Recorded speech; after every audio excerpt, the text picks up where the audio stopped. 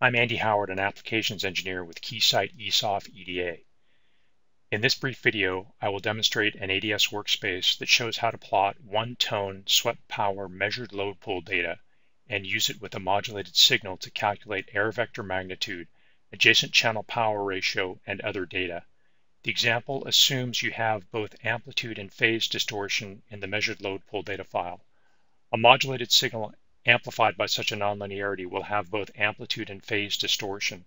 The amplitude of the modulated signal can be increased by increasing its average power, which will result in increasing degradation of the error vector magnitude and adjacent channel power ratio. Contours of constant EVM, ACPR, efficiency, output power, and bias current can be plotted. Also, because of the modulated input signal power sweep, the example includes plots of data versus power and interpolation of the data at a constant output power, a constant gain compression, and a constant error vector magnitude. This shows contours of output power and efficiency at a specified EVM level. It indicates, for a particular modulated signal, the optimal reflection coefficient to maximize power or areas of the Smith chart where the output power is above some level while satisfying an EVM requirement. The following explains the idea behind this technique. As the load is pulled and the one-tone source power is swept, you get different output power and phase distortion curves like these, where the x-axis is the output power. This is a trajectory diagram of a modulated signal.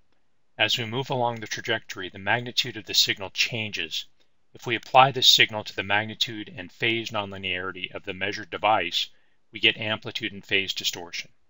The trajectory diagram on the right is the ideal output trajectory you would get if there were no distortion. The green X is the distorted trajectory point, and the black X is the ideal point. The distance between these points is the instantaneous error vector. Where the magnitude of the input signal is low, we are way down on the magnitude and phase distortion curves, so there is virtually no distortion. However, where the magnitude of the input signal is high, we could be up on these curves where the distortion is significant. We compute the error vector magnitude by applying the time record of the modulated signal to the nonlinearity, computing the distorted output spectrum, and then using the distortion EVM algorithm to compute the EVM. This algorithm is discussed in various papers from Keysight measurement scientists. The ACPR is also computed from the distorted output spectrum.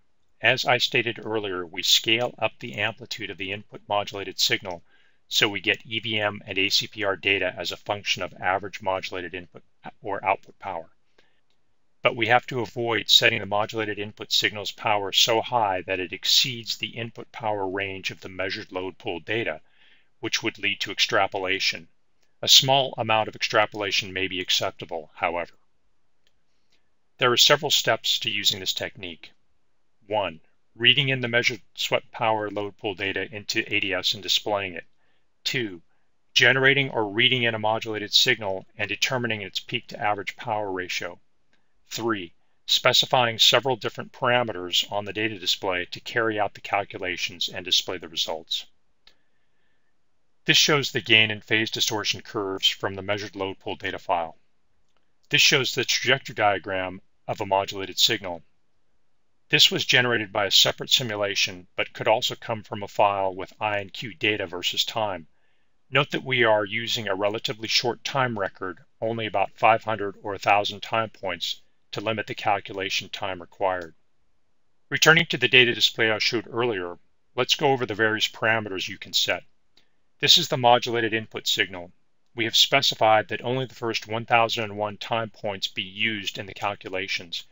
If you want ACPR data, you need to specify the main and adjacent channel frequency limits as an offset from the carrier frequency. These need to be set based on the bandwidth of the modulated signal. These equations set the modulated input signal's power levels. In this case, we want the maximum average modulated input signal power level to be 10 dB below the maximum one-tone input signal power level of the measured load pull data. Setting this number lower would result in a higher average modulated input signal power level and increased likelihood of extrapolation during the calculations. The lower the desired EVM, the higher this value can be. The desired EVM dB marker sets the desired EVM. the EVM versus main channel power data is interpolated at this value, resulting in the data at the red dots. The corresponding efficiency, transducer power gain, ACPRs, and bias current are shown. Also, these data are used to calculate the contours.